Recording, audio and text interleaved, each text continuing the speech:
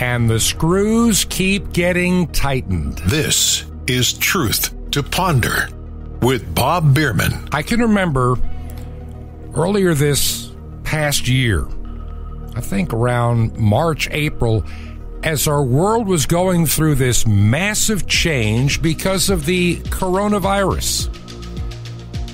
If you said anything against the virus or any of the science, which by the way, if you if you look over time, it's been wrong a lot.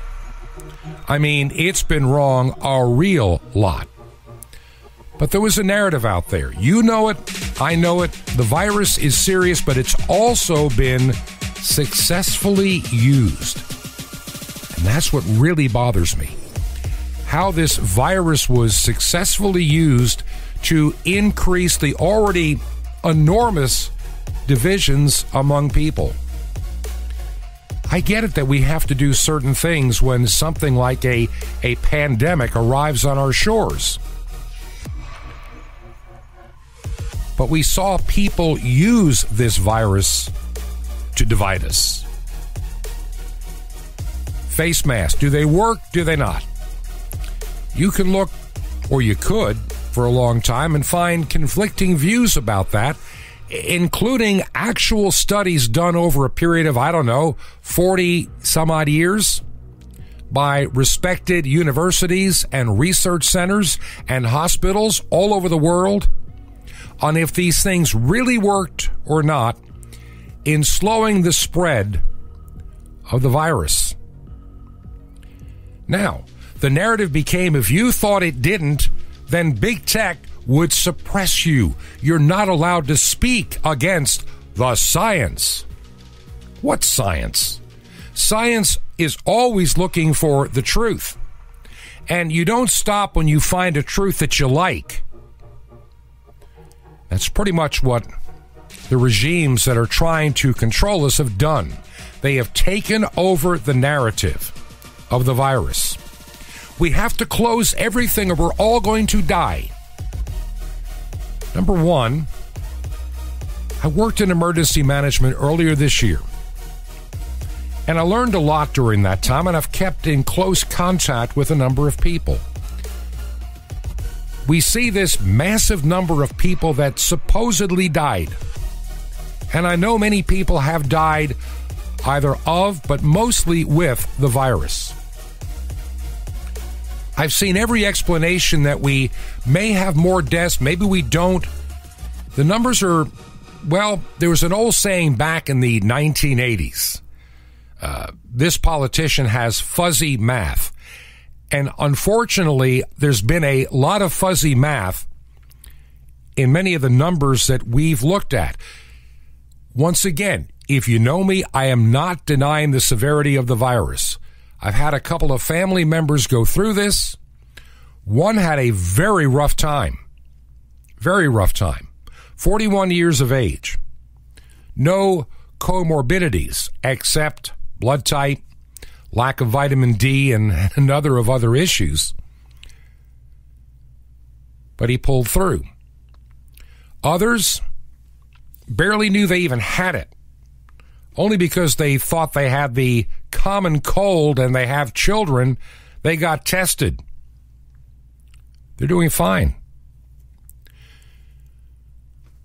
We had people within my own family that if, if someone mentioned the word coronavirus, just just the mere mention of the word coronavirus, they thought it was a death sentence no matter what your age was.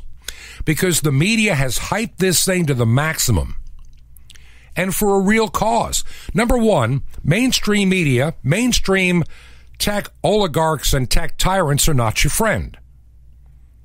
No, they're not. They look at themselves as the elite, as the elite core did around Hitler and Mussolini back in, in the 1930s. The business people that knew who had the political power and they wanted the money. It's funny how much of your soul you will sell for money. The Bible says the love of money is the root of all evil. yes, it is. Not money, but the love of money. And have we not seen that with corporations like Amazon, Walmart? They're the big benefactors of the coronavirus. The big chains did well. The local stores and restaurants have been devastated in many states. It's funny, St. Andrew Cuomo, the pious of New York, sorry to use such an insulting term, but the man is a moron. The man is an idiot. The man killed people in his state and blames the rest of the world. He shoved sick people into, into nursing homes, knowing and being told not to do it, but he did it anyway. Look at Pennsylvania. They did the same thing. But notice the the very strange director of health there. I'm not going to go into a whole this person's insane. This person has mental illnesses and this is the director of health in the state of Pennsylvania. Of course, he, she or whatever this guy who looks like an ugly girl, sorry to be so blunt, this man pretending to be a woman gets his mother out of a nursing home right before they put the sick patients in. Now, what does that tell you? What did this individual know? People in this country, particularly on the left, have used this virus to see how far their control can go instead of common sense approaches in dealing with this thing, we did draconian lockdowns. And how did they do? Well, I can tell you in one word failure. Total and absolute failure. They didn't do anything. If you look at other parts of the world, see, whenever you lock down, and keep people isolated and out of the sun and they're not eating right. I mean, face it, people in quarantine are not eating healthy diets. The pizza places did marvelous business during this uh, this pandemic, hauling in pizzas to households all over the United States. It's not a healthy diet. They're not outside. But you know, the virus is not a living organism. It doesn't need food to survive or anything. It's not alive. It is DNA strands wrapped in a fat with protein receptors. And in some some conditions can hang around a long time. So we lock up at home. And somebody goes out and then we bring the virus back to our locked up home and that's why St. Andrew Cuomo the Pious of New York was shocked when he found out that around 70% of the people getting infected uh, were were staying at home. And he couldn't understand that it didn't work. And then when people got outside again, well, then the numbers started to go up. And then we'd lock back down. Then the numbers would go down, then they would they would go back up and down. We've never let this virus cycle through the healthy population. Instead, I am now convinced, and I've listened to some doctors that are very reputable, and some of the stuff they have been saying since back in April, May, and June have been right on the money. One guy said if we had really gotten into vitamin D early on, this pandemic in the United States would already be over. Now, I'm not going to say that I'm a doctor and fully agree, but it makes sense. One of the individuals that I know that when he first suspected the coronavirus, they upped their vitamin D intake immediately and zinc. And instead of even with some issues like asthma, they came through pretty fast. There's a lot about this that has been used for politics. It gave us the excuse for the mail in ballot nonsense. I don't care what Google says. I don't care what Twitter says. I don't care what Facebook says. I don't care what any of the tech tyrant Hitlers that run this tech infrastructure have to say, including YouTube. I don't care what you think. You have an agenda and you don't care about the truth. You care about your power, your money, your prestige, and your control. It's a thing called the pendulum. You may be at the top of your game today, but you know, pendulums have a bad habit of swinging the other direction, and you may not want to it, it, history has proven over and over again about a pendulum. What the left has tried to do, what the tech tyrants have tried to do, what everybody tries to do, any despot in the in the history of the world has always used division to get power and to get control. The Reichstag fire in Germany in the 1930s. Adolf Hitler had been elected chancellor, but he didn't have a whole lot of power. But after that fire and blaming his enemies, they gave him virtually unlimited power. In 1939, Hitler wanted to invade Poland. So what did he do? He faked Polish soldiers attacking Germans. It was really Germans attacking Germans. Uh, for the newsreels, of course. So he would have the excuse and the German people's backing to march into Poland. Divide and conquer, divide and conquer has been the despot's way of doing business for millennia. The Roman Empire divided to conquer. Every despot group divides to conquer. Right now, American people are more divided than ever against each other because of politics. You look at people like the type that run and, and work with National Public Radio. They get caught by uh, Project Veritas talking about they think that conservatives should have their children taken away from them. This is an actual person, big person in NPR. You can watch the video. Conservatives need to have their children taken away and the children sent to re education camps. Conservatives need to be blacklisted. Some have said conservatives, Trump supporters should not be, they should be on the no fly list. The elite want to travel without the rabble of conservatives on the aeroplane with them.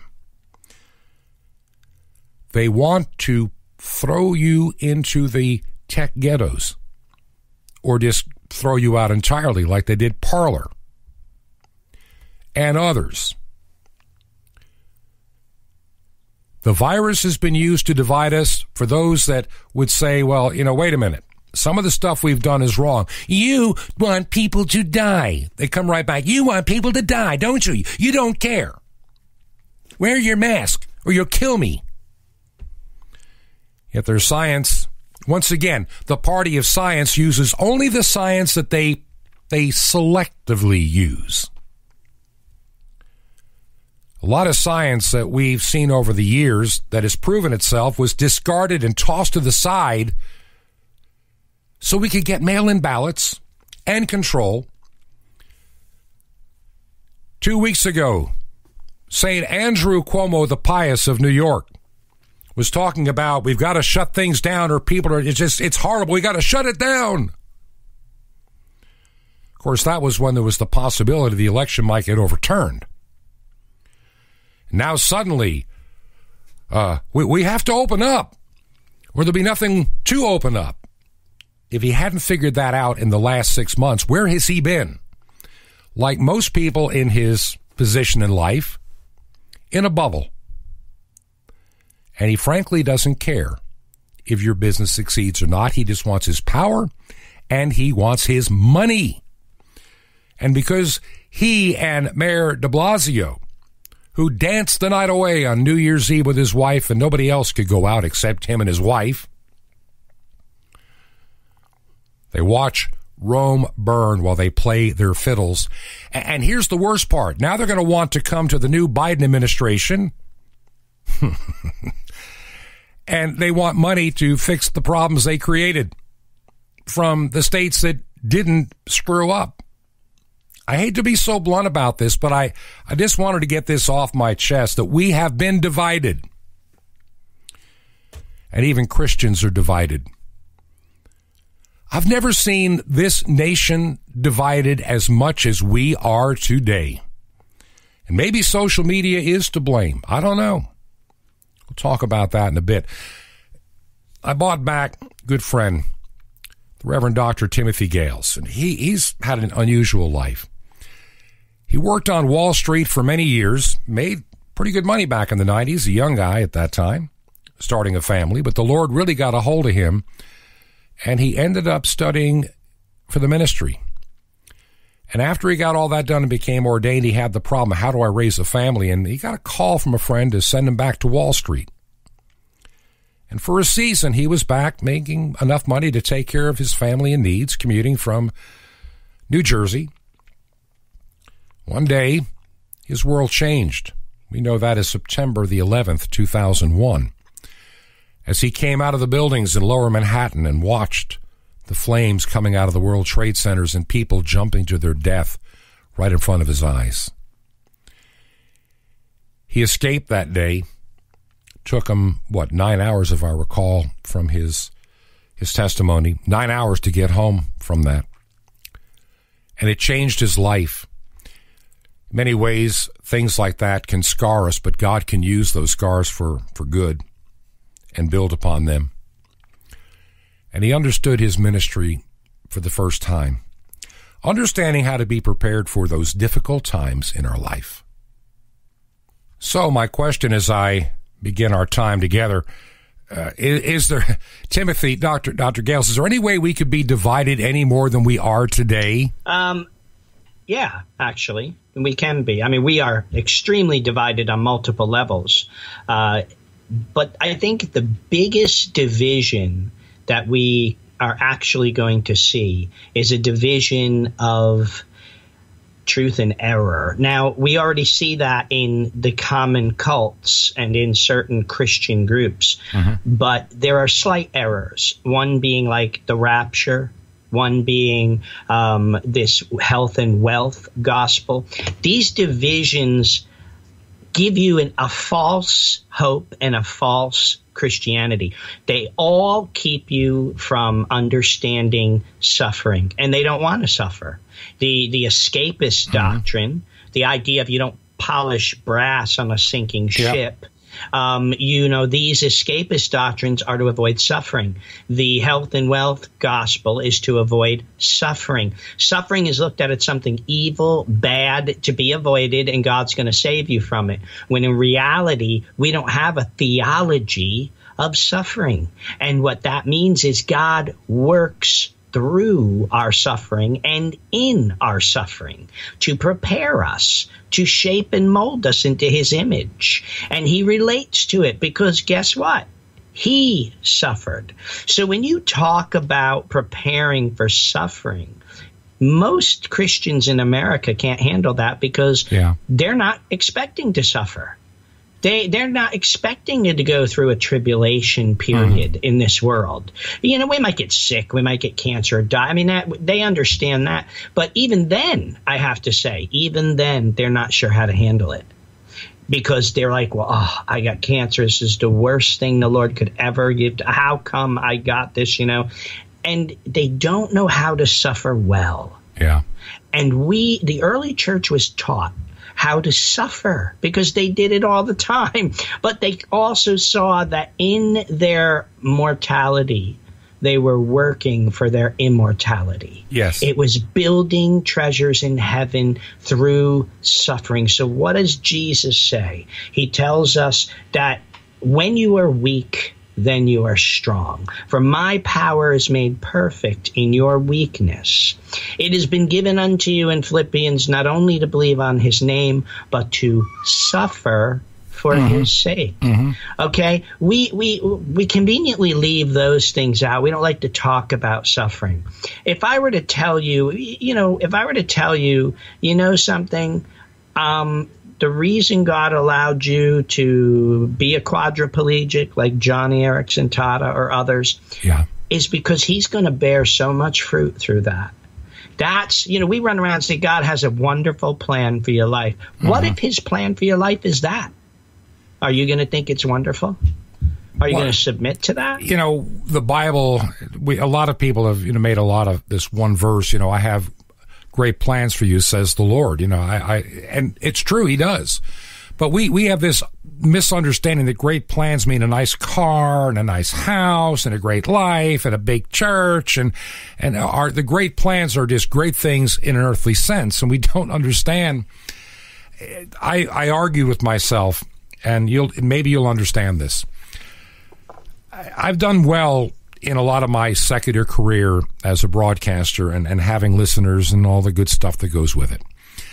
And the Lord called me into ministry, and I and I have I've actually, from the perspective of the church background that I ended up in, did very well compared to most of my other brothers, you know, in the churches that they were building.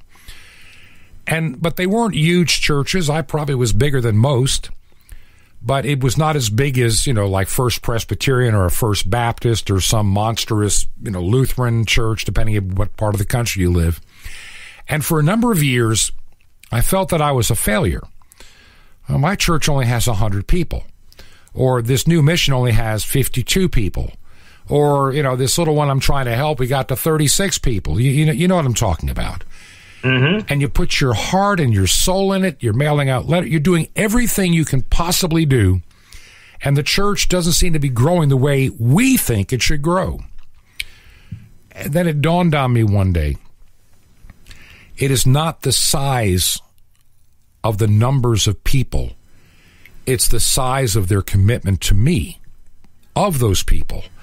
And it dawned on me that when I would look at that congregation of a hundred people, there are only three or four that I ever really worried about. You know what I mean? When I would say that, you know, are they really a part of the Brethren of Christ, or are they, are, are they just here for the wrong reasons? I, I didn't have that insecure feeling as a pastor. I felt that they, these were true believers in this church, and, and there was such a peace about that.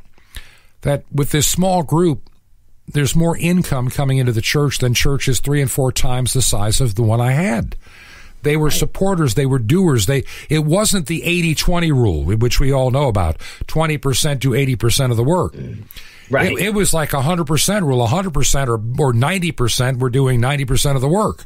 It was a different dynamic in that church. Right. And, and it gave me a better feel that no, I wasn't a failure.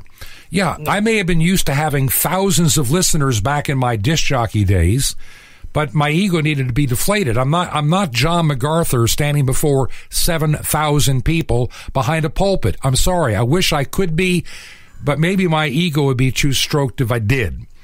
And, right. and so, well, that is a problem with the Christianity today, right? Because we measure success by numbers. And the fact of the matter is, you're exactly right. Uh, when I was when I was in seminary, I remember going to churches. There was a few people in the church. I had a friend of mine also yeah. who was starting a church. He had maybe 11 people. Yeah. He tried doing it for about a year, almost a year and a half. Mm-hmm. And finally, he just went, I, no more. And he left. He said, I can't do this. not growing. And he left yeah. and he went back to, uh, to his old church. And I was there. And his pastor looked at him and he said, You mean you left 11 sheep unattended? Yeah. He goes, You go back there and you make them the best fed and the most loved 11 sheep that you can do. Yeah. And he and when he did, he actually did go back there and it did start to grow mm-hmm. as he fed them. It does. You know, but we give up. We think I'm a failure, Lord. You know, I, I've only got 11 people here. What am I going to do? And he says, love them. Feed my sheep. Do you love me? Feed my sheep.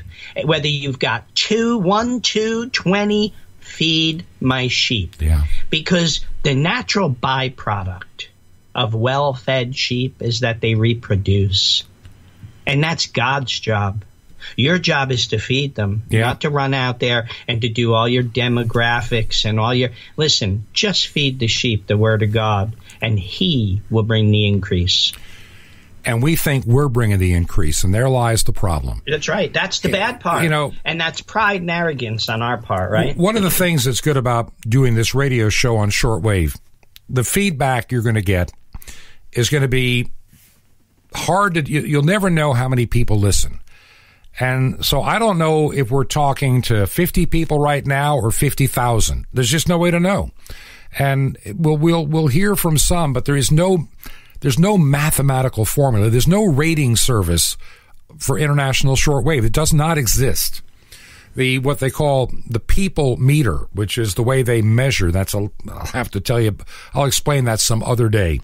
Doesn't really matter, but those that are selected, they carry this little thing the size of a pen with them.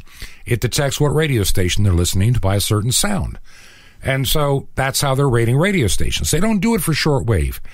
I may be wasting my time uh, talking to 30 people, or maybe I'm not. I don't know, but it doesn't matter.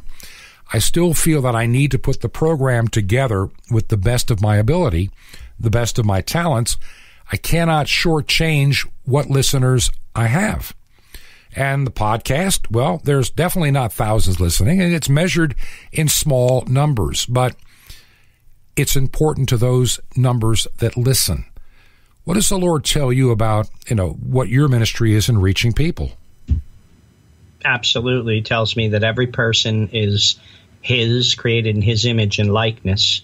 And no matter if I have one or, or, or 1,000, um, I, I love on them mm-hmm. as Christ would and I teach them and I treat them as if they're a king or a queen or you know you come into my office I always tell people blessed are the flexible for thou shall not yes. be broken that's my my standard in my ministry mm-hmm. so I tell them no matter what I'm doing I said it's a divine interruption yeah. You need me, you come into my office, whatever. I, I, will stop everything and give you all of my attention and, and help you in any way I can. Uh, and, and feed them, have them grow in the faith. I don't give people platitudes. I will not do that. And, and I'll give them truth and I'll do it in love, but I'll also teach them and I will genuinely care for them. If I tell you that I'm going to walk with you in your Christian walk, I'll do it. And I, I there was I'll give an example as of one guy who who was diagnosed with cancer.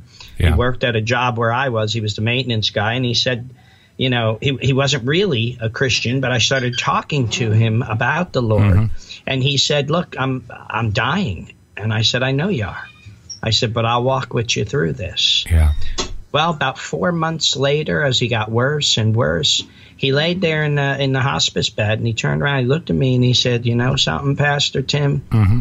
you really did. You kept your promise. You've walked me through Absolutely. this entire time." And I said, "You betch I did." Mm. And I, and because that's what the Lord would have me do, and that's what He does with us. Every single human being is important. Every human being is God's image okay yes. and yep. they are created they, but they have value dignity and worth by virtue of their creator not the government not any mm-hmm. not any king or queen yeah. they have virtue of their creator value dignity and worth and need to be treated as such i tell this to many ministers it's not about you yeah. it's not about you. you need to fade away and let Christ take over. Mm-hmm. It's not about you. So don't sit there and think you need to have your skinny jeans and your tattoos and your, your hair all, you know, molded back and, and get up there, play guitar. Listen to me. You need to know what it is to sit and hold the hand of somebody dying. Yes. Somebody who've lost everything that they've ever had. Somebody who's been betrayed and they're completely mm-hmm. alone now mm-hmm. or homeless. That's ministry.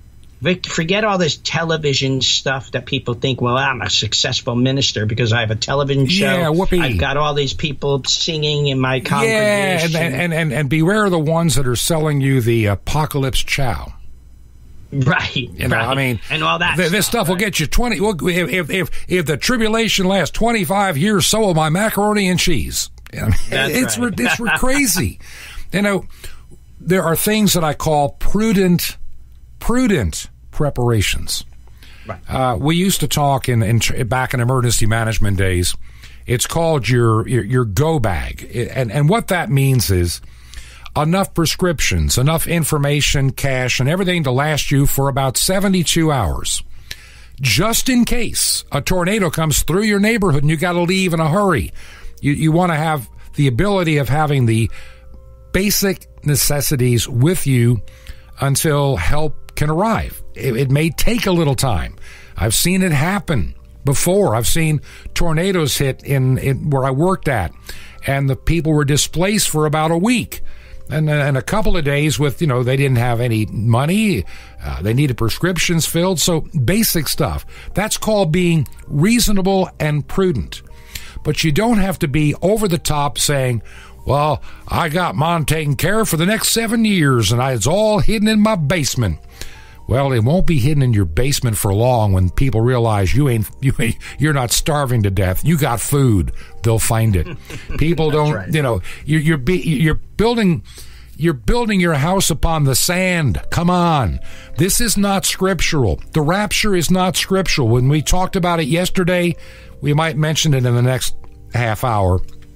I don't want to get into it too much. All I can tell you is just be prepared for what God has in store for you and I. And it may not be in ministry. We don't know if we're going to have any respite out of all this nonsense. It could continue on this path that we're heading on, you know, where the people are kept, you know, like, look, the Roman Empire sums it up well. And this is where I think the United States is heading to on many levels bread and circuses. Bread and circuses. We keep the divided people divided to control them. Uh, we don't let the Christians get too vocal. And that's why, friends, you and I have got to start slipping into the places that God has called you to be. And when we come back after this break, I want to get into that topic even more. Where can we go? How do we begin to? We talked about in the first part of the week. What are the little first steps? What are our first baby steps in getting out of this mess called the world that we live in? This is Truth to Ponder, and we need to take a break. When we come back, we've got some more. This is Truth to Ponder with Bob Bierman. The eyes of the beholder. Shalom Alechem. This is the nice Jewish boy, Jonathan Cahn, your Jewish connection, bringing you the riches of your Jewish roots in Jesus. Now get your pen out as fast as you can so you don't miss out on receiving a special free gift you're going to get and love in a moment. Now, in the ancient Middle East, eyes were everything. The women were veiled. So the only thing you could really see were their eyes. So back then, everything was riding on the eyes. Forget the nose job, forget the lipstick, forget the rouge, but go out and buy tons of Visine and cartons of Maybelline. All they saw were the eyes. So in the book of Genesis, the maiden Leah is described as being weak eyed, which can mean either one whose vision is impaired or one who isn't beautiful to look at. Now, the connection is profound and biblical. It's the link between seeing and being. Messiah said the same thing. He said, if your eye or your seeing is good, then your whole being will be filled with light. Paul said it a different way. He said, all things are impure to the impure. In other words, if you're always seeing impurity, you yourself are impure. But if you see the light, then you yourself will be filled with light. Spiritually speaking, you are what you see. The way you look is the way you will look. The way you look at the outside is the way you will look from the outside. The way you look at others is the way you will look to others. You'll become the way you see. So if you always see the worst and impure in everything, you yourself will become impure and the worst person you can become. But if you always look for and see the best and the beautiful and the hand of God and the face of God in everything, then you yourself will become the best and most beautiful person you can become. Your choice, my friend. Look beautifully and you'll look beautiful. See God in everything, and you too will become beautiful, because beauty truly is in the eyes of the beholder. Want more? Ask for the children of Leah. Now, what if you could receive daily vitamins guaranteed to strengthen your spiritual walk with God? A six month supply for free. You can. Sapphire's daily spiritual vitamins for a victorious walk with God and updates on Israel, prophecy, and the incredible, the mystery of the temple doors, all free. You'll love it. How do you get all these free gifts? Easy. Just remember Jesus' Hebrew name, Yeshua, and dial it. That's all you do. Just dial 1 800 Yeshua 1. You'll be blessed, but call now. 1 800 Y E S H U A 1. Now, you can actually spread salvation around the world for very little through shortwave radio from the Arctic Circle to Israel. It's amazing. It's like sending a billion tracks around the world. Just call now. 1 800 Yeshua 1. Y E S H U A 1. Or write me direct. The Nice Jewish Boy at Box 1111, Lodi. L O D I, New Jersey, 07644. It's a nice Jewish boy. It's 1111 Lodi, L O D I, New Jersey, 07644. Till next time, this is Jonathan Cahn saying Shalom Alechem. Peace be to you, my friend in Messiah. Yeshua Tenu, our salvation.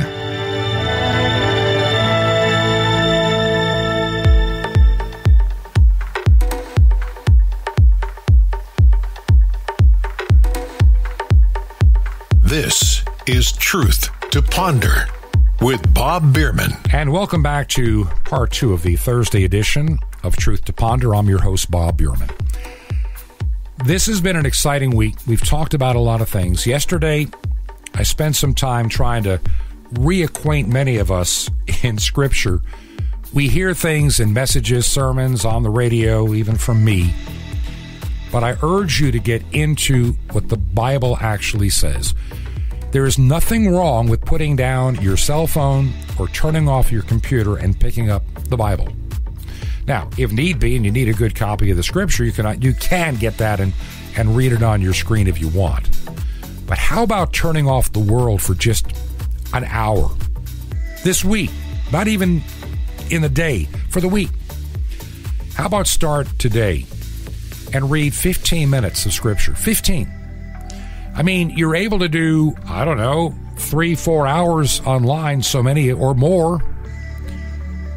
If you have a younger person in your house and you're letting them play video games for six hours, tell them that, you know, for every hour you want to play in the video game, how about five minutes of reading scripture this afternoon?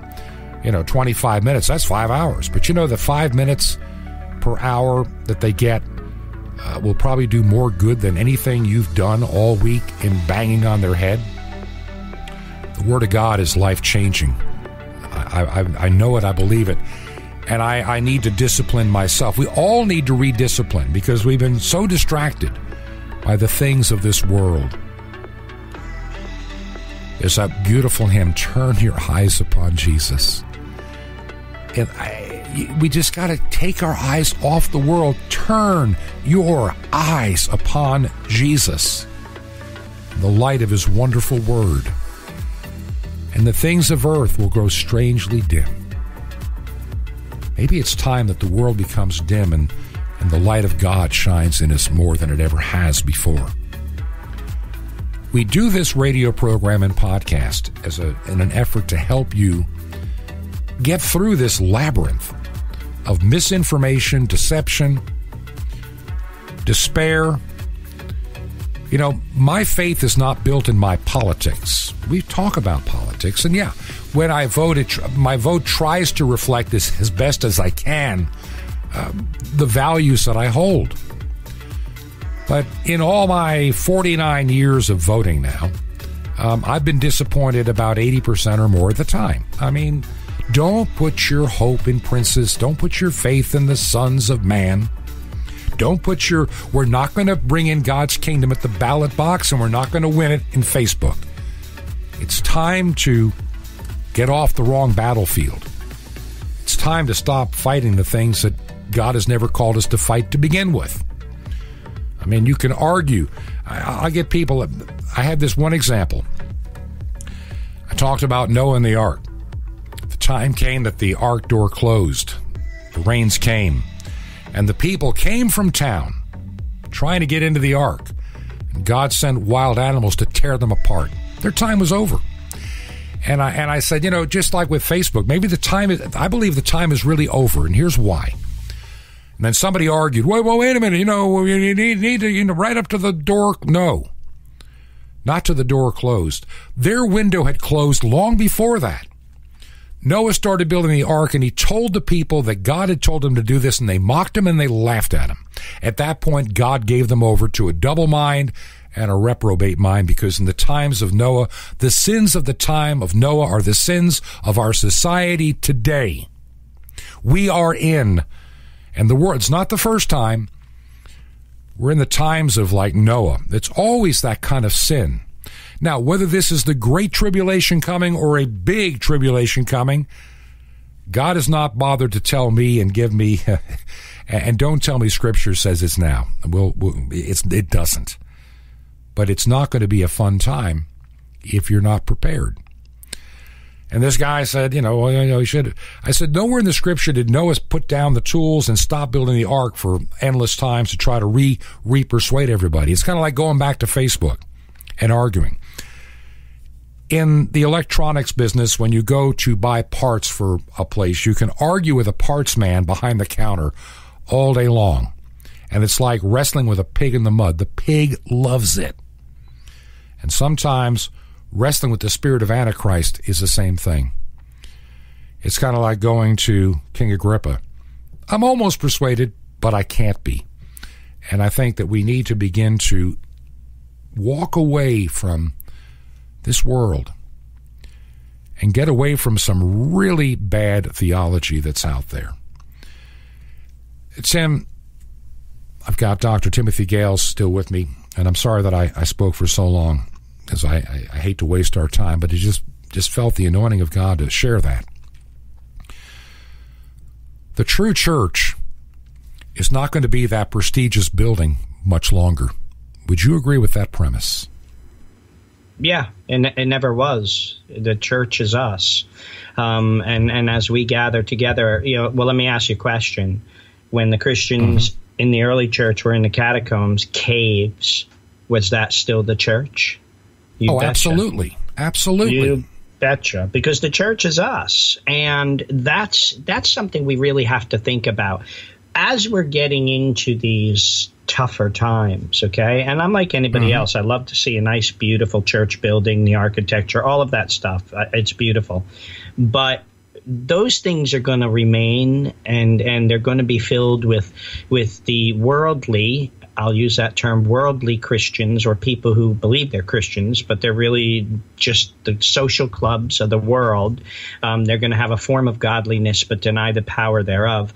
And and the true Christians, those who, who truly believe and hold the faith once and for all delivered to the saints, are going to be meeting in other places, whether it's going to be farm ha- buildings mm-hmm. or the mm-hmm. woods or caves or whatever it might yeah. be but they're going to be strong and they're going to be powerful because they're not relying on the things of the world anymore because you can't. You're going to be relying on Christ and you're going to know him and you're going to know one another and you're going to have the power of the Holy Spirit living in us like the early church did.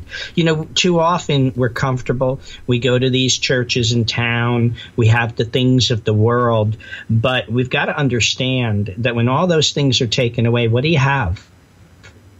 I, I said something to a mm-hmm. friend of mine who's in a very big, big liturgical church, and I said, you know, it is beautiful, and I love the the, the chanting. I said, but yeah. if I were to remove the Holy Spirit tomorrow, what would change? Mm-hmm.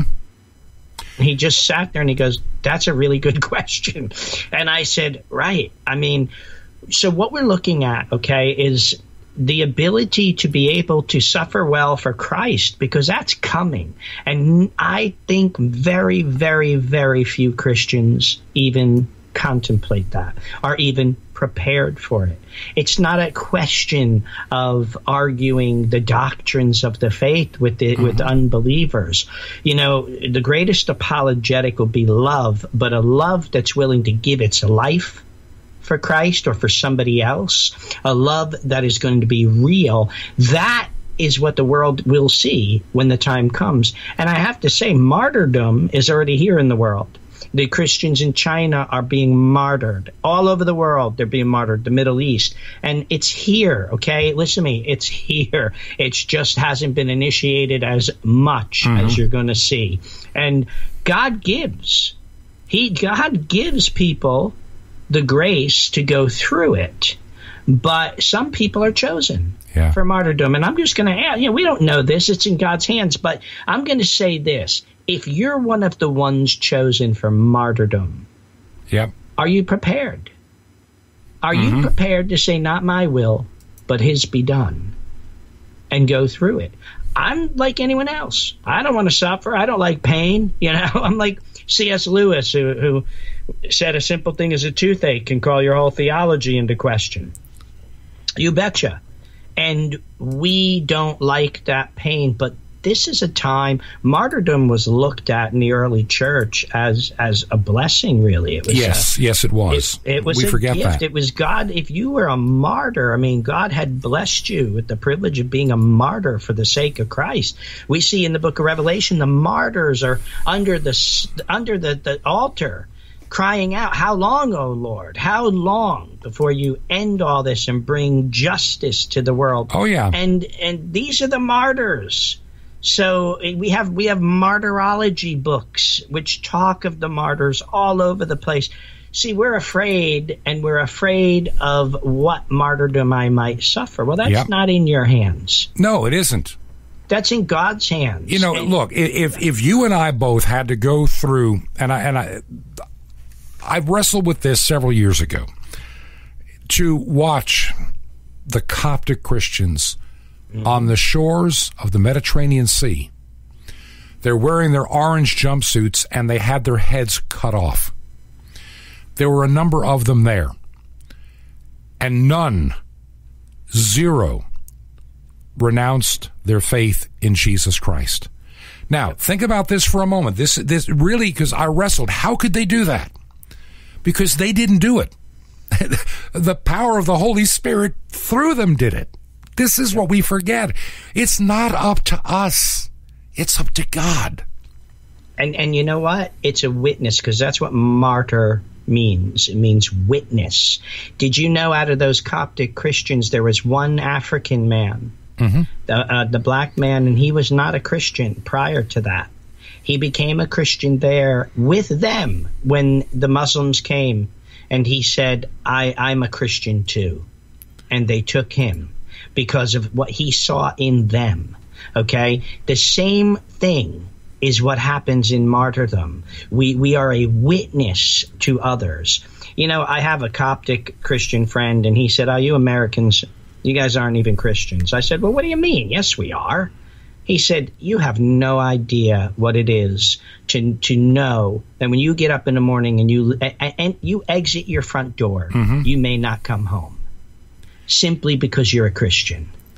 And he said, We tattoo a small Coptic cross on the wrist of our daughters mm-hmm. when they're young because they could be taken by the Muslims as sex slaves. And, and, and what will happen is that little mark on their wrist, that Coptic cross, will be burned off. But they'll always see a scar and they'll know we teach them, you will always remember you are a Christian. you know, there are so many well meaning, and, and I say that, people that put out uh, books and CDs and, and DVDs and Christian music in this hope of reaching the young people. I've heard that for since I was since I was a young person uh, half a century ago. And we have substituted the Word of God, the teaching, and being bought into the faith with pizza parties and sock hops and all kind of weird stuff, even back in our day. You know, movies and, in other words, it was party time. Uh, in the mm-hmm. summertime, we went swimming. You know, and, and we, you know, we we had this. You know, someone's got to say grace over the food, and a little bit of, you know, it's kind of like a pizza party with a tiny side of Jesus. And and and, and mm-hmm. we all fell into this. It, the, the, the mm-hmm. church has been deceived into this. We have substituted the meat of the Word of God for junk food Yep. and and we have and and now you got music today and here's something i want you to understand this in no uncertain terms. All over the united states over the last several years there's been this wave of new fm radio stations that play contemporary christian music. And they say all the right things. You follow all the right things. And they play this mass marketed music for millennials and Generation Z. And this is supposed to be Christian music. And if you're a baby boomer or, or um, and, and what's the other group that came after us? I can't remember, but it- that some want to feel young again. And it's all youthful. It's all upbeat. It's all emotional, but it's littered with unbiblical truth and even extra biblical claims that are not true from the Word of God. Millions of people are turning on these so called Christian radio stations who can be carried to nothing more than unvetted guest speakers and pulpits. I mean, it's like we don't know who, what they're going to say, but they sing it, and all this bad theology, all about personal experience, and instead of proclaiming the holiness of God, you know, when you when I think about hymns, and I, I'm going to share before we get off this program today, uh, just one verse of a of a hymn that we forget. We we instead of proclaiming fear and holiness as the old hymns did, we cater to the defeated and we we encourage the non-believer to not necessarily have to change their belief. It's a watered down fake gospel, and and and this is what so many of these rock and roll groups have become, and they air on such outlets as like K Love, Air One Radio, and they, they they feature all these worldly looking groups in their tight uh, with short you know skirts and tight jeans and and they're just wailing into these microphones all this bread and circuses to the church. They are the bread, they are the circus to the church. Keeps them from getting into real theology, too. What's going to happen to the real church? That's my question. Right. Well, the real church is going to survive. the real church is going to have fortitude and it's going to have coraggio, courage, because it's mm-hmm. going to come from Christ. And if your spiritual life is deep, you're mature in your faith through the hymns, the chants, whatever it may be in the Word of God, when in the teaching, if you have a maturity, you're going to be able to stand in the midst of what's coming. Okay, but if you are one who's just been drinking milk yeah. rather than eating meat, having a tall glass of milk every week, or powdered milk, what? yeah, or yeah, right, or uh, what did I used to call it? Uh, lactose Christians, right? lactose intolerant Christians, right, right. So you're going to have, you know, that you're not going to be able to withstand anything. All right, what you're going to fold, you're going to cave, you're going to give in, you're going to conform, you're going to deny, you're going to be the modern day Donatists. You're going to be the yeah, ones that yeah. that say, "Oh, hey, you know, I'll I'll follow the Lord, but I got to protect my own life." Jesus said this he who seeks to save his life will lose it. Yeah. And he who loses his life for my sake will save it. These multi million dollar corporations that pretend to be giving us, you know, Christian faith and music, and it's all wonderful and it's all godly and it's all going to save our kids and it's all wonderful, wonderful, wonderful. These kids would, would deny Christ, too many of them, I believe, in a heartbeat. I've watched them do it. Oh, they went to the church. Oh, they got baptized. Oh, they did this. And now they just, you know, live for the world. They stopped going to church. Premarital sex is their standard, and it's all good. Mm-hmm. And it's it's hymns. I'm going to compare one little verse of a of a hymn of a contemporary song that you would hear on K Love or any of those. I'm sorry, deceptive. I, I, they they're they're warping. They're ruining you. They're ruining you. Listen to these words and then listen to a verse of a hymn from hundreds of years ago that's singing about the same thing. You all right? You're following the same topic. And here's how it goes I'm just a breath away. I'm just a step away from losing my faith today, falling off the edge today. I need a hero to save my life. That's the, that's the entire verse, okay?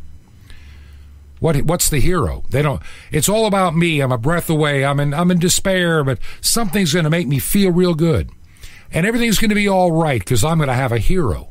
Whatever. We don't even define who the hero is. They don't dare say Jesus, and I don't think Jesus like, is going to be there. Comic book hero, right? Yeah, it's like a yeah, like that's a that's a song right there. A comic book hero. Right. I'm falling off the edge. I'm losing my faith. Uh, why are you losing your faith? Are you outside of God's word? I mean, you don't lose your faith unless you never had it sometimes to begin with. It can be shaken, but it doesn't get lost. And you're not that close to the edge. If you are and you're scared, then the Holy Spirit is not dwelling in you. So let's compare that to another uh, hymn of the faith. This one, I think, is talking on the same topic Mid toil and tribulation and tumult of her war, she waits in consummation of peace for evermore, till with the vision glorious her longing eyes are blessed, and with the great church victorious shall be the church at rest. Does that sound a little bit different to you? That's right. The church, the church victorious, right? Where where is that church? Where is that church? It's in uh, heaven. It's, it's the martyred church, the ones that suffered, the ones that counted the world. Go read uh, Hebrews chapter 11.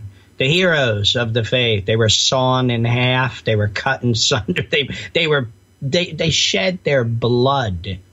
Okay, they didn't just say, "Hey, I'm afraid I'm gonna you know teeter totter a little today. I need a hero." No, they were mm-hmm. thrown in burning hot iron bulls so that they would scream. They were scorched. They were they were lit up on fire to light up the the parties in yeah, Rome. Yeah. Okay, you know how many people, how many Christians in the Middle East, in Iraq, I believe it was a few years back, there was five children that were taken captive, brought out in the middle of the town, and they were between the ages of 14 and 7, I think. And they were told to renounce their faith in Jesus Christ and accept Islam. Do you know, at that age, five of them, not one of them renounced their faith knowing they're going to get their heads cut off, and all five of them got their heads cut yes. off. Not one of them renounced their faith. Now, you come to this country and you take five teenagers in a youth group, and how many of them are going to go through with it and get their head cut off? You know, I, I look at the words of such hymns, and I'm not going to have time to really get into these uh, these wonderful lyrics written by people of old that that faced difficult times in their life. You know, built on the rock, the church does stand, even when steeples are falling. Crumbled have spires in every land. Bells are still chiming and calling, calling the young and old to rest, but above all, the soul's distress, longing for rest everlasting. These are not hymns of happiness, and these are not hymns of just wonderfulness and all about me. These are hymns about the church, the buildings crumbling and falling apart, but the bell still rings out. The faithful word of God. Give us some closing thoughts before we have to leave it for today. You know, our strength is not in the things of this world or the world. John tells us that. Love not the world or the things in the world. You know, nowhere in Scripture does it say that God loves the the ones that are blessed and happy and healthy and wealthy and wise. He says he chastises those whom he loves. He brings you through tribulation. If you're going through tribulation, it's because He loves you and His hand is upon you and He reminds you that His power is made perfect in your weakness. It's not you, but hmm. it'll be Him in you to the glory of God the Father. The angels will witness it. The heavenly victorious church will witness it and cheer you on. And we need to be ready for that. This is not a game, and this isn't a feel good message that we go to. It's a time to build our spiritual life for eternity, for eternity, because in His light we see light, and my strength is made perfect in your weakness. Remember that. Timothy, I want to thank you for being on the program with me again today, Dr. Reverend Dr. Timothy Gahles. I look at the clock on the wall. We are just about out of time again. Got a special program I hope is going to come together for for Monday and another one for tomorrow. And uh, we're trying to get all the finishing touches. I am traveling this weekend to Texas to to actually do some church work. I'll tell you about that when I get back next week. Do you believe in the work of this ministry? If you do, would you let a friend know? Uh, would you consider maybe supporting it? You can go to our website. You can do it from there, truth, the number two, ponder.com. Some people already have. Or if you prefer the U.S. mail, it's real simple. Just truth to ponder. Make your check payable to Ancient Word Radio. The address is 21 Berkshire, B E R K S H I R E, 21 Berkshire Lane, number 263. That's our little P.O. box, 21 Berkshire Lane, number 263 in Sky Valley, two words, Sky Valley, Georgia, zip code 30537. That's 30537. God bless until tomorrow. This has been Truth to Ponder with Bob Bierman. To find out more, visit our website, truth, the number two, and the word ponder.com. That's truth, the number two, ponder.com. Truth to ponder, shining the light of truth in a darkening world.